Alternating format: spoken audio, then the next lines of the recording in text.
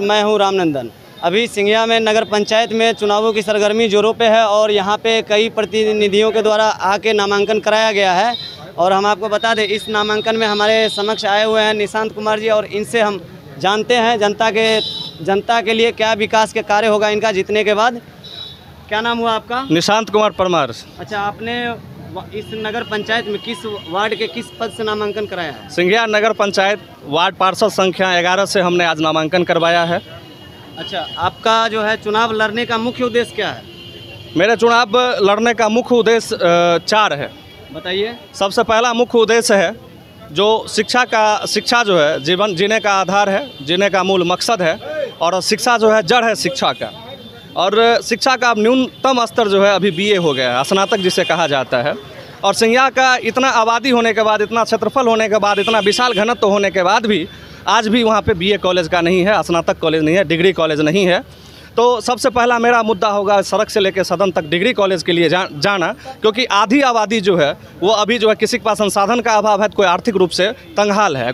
और खास करके महिला और खास करके लड़की हमारे समाज की समाज की जो भी है वो थोड़ा उतना लंबा दूर यातायात का साधन नहीं होने के कारण इतना लंबा दूर जो है बीए करने के लिए जा नहीं सकते इतना दौड़ भाग कर ही कर ही नहीं सकती। क्योंकि अपने क्षेत्र से सिंघिया नगर पंचायत से 20 से 25 किलोमीटर के बाद ही कोई बीए कॉलेज कोई डिग्री कॉलेज है तो मेरा सबसे प्रथम मांग होगा शिक्षा।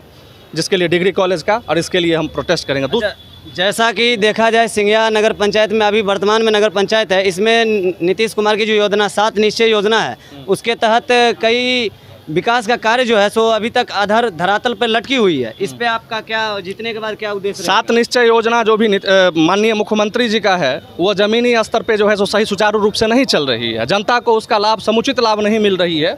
तो हमारा कोशिश रहेगा, जो भी अब नगर, ग्राम पंचायत से नगर पंचायत बनाया गया है, और समाज को जो है, सो विकास की ओर ले गई है तो अगर हमें मौका मिलती है, हमें जनता का सपोर्ट मिलती है, हमें समर्थन मिलती है तो जो भी सात निश्चय योजना है, जो भी सरकारी योजना है, उसे ज़मीनी स्तर पर ज़मीन से जुड़ कर जनता के बीच जाके उसको जो है सो दूर करने का और जो भी सरकारी लाभ है किसी भी तरह का वह जनता को बिना पैसा और बिना परेशानी को मिलेगा यही मेरा वादा है। अच्छा जैसा कि महिला सशक्तिकरण के बारे में आप क्या कहना चाहेंगे? आ, महिला सशक्तिकरण का हम पुरजोर समर्थन करते हैं। क्योंकि नारी के बारे बारे में बारे में बोला जाता है। जो वही आ, किसी भी परिवार को किसी भी समाज को किसी भी देश को सींचती है वही इस समाज का निर्माण इस दे, देश का निर्माण और इस परिवार का निर्माण करती है। तो महिलाओं में कितना शिक्षा जाए महिलाओं में कितना शिक्षा जाए, कितना समृद्धि आए, कितना खुशहाली है और उन्हें जो है स्वरोजगार हो आत्मनिर्भरता को अपनाए स्वरोजगार को अपनाए, या हमारे वार्ड से या सरकार से जो भी सुख सुविधा उनको मिलना चाहिए, वो मैं देने का, दिलवाने का कोशिश करूँगा। अच्छा जैसा कि इस चुनावी माहौल में कई प्रतिद्वंदी आपके सामने आएँगे तो इसमें आपका क्या कहना रहेगा?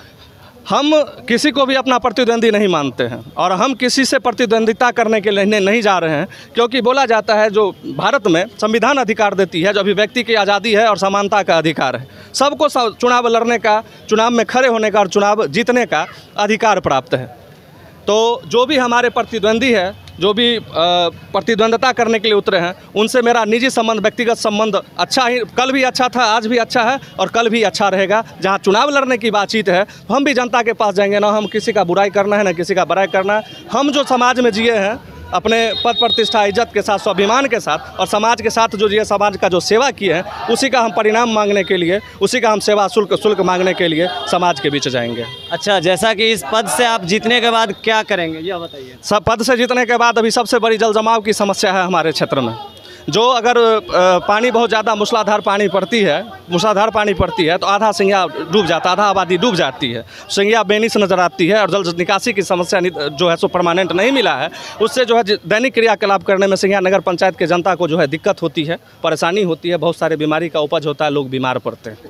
तो जल निकासी की समस्या जो है सो रखा गया। और दूसरी सिंघिया नगर पंचायत तो 2020 में जो है सो गजट पास होकर फाइनल नोटिफिकेशन होकर चालू हो गया। लेकिन विगत दो वर्षों से सिंघिया नगर पंचायत भवन का निर्माण आज तक नहीं हुआ है। जनता जो है परेशान है, जो सिंघिया नगर पंचायत, ग्राम पंचायत में लोग ब्लॉक से करवा लेते थे, कर लेते थे, लेकिन नगर पंचायत का कार्यालय कहाँ है? नगर पंचायत में जो समस्या आ रही है जनता के बीच, कागज़ पत्र का या किसी भी तरह का जन समस्या आ रहा है, किस ऑफ़िस में जाए, किस अधिकारी के पास, और हमारा काम कैसे हो? तो ये भी हमारे लिए प्राथमिक तीसरे नंबर पर आता है सिंघिया नगर पंचायत। कार्यालय का निर्माण और जितना जल्दी हो सके हमारे मुख्य पार्षद जो भी बनेंगे, उप पार्षद जो भी बनेंगे और जो भी वार्ड पार्षद बनेंगे, सबसे कदम से कदम मिला के सबसे एक अच्छा जो है रिश्ता बना के उसके लिए नगर पंचायत कार्यालय के लिए कोशिश करना नगर पंचायत को त्वरित बनवाना, क्योंकि मृत्यु प्रमाण पत्र और जन्म प्र- प्र- प्रमाण पत्र बहुत ही नेसेसरी है और हर एक आदमी सक्षम नहीं है जो रोसा नगर पंचायत कार्यालय में आके करवाए और नहीं सक्षम होने के कारण बहुत लोगों का काम गड़बड़ा गया है। जैसा कि हम आपको बता दें, इस यहाँ पे निशान जी के द्वारा कहा गया है कि हम इस पद से जीतने के बाद विकास के गति जो है सिंगिया में रफ्तार को तेज़ करेंगे, विकास की गति में रफ्तार बढ़ाएँगे। बने रहिएगा बीएनपी न्यूज़ के साथ, मैं हूँ रामनंदन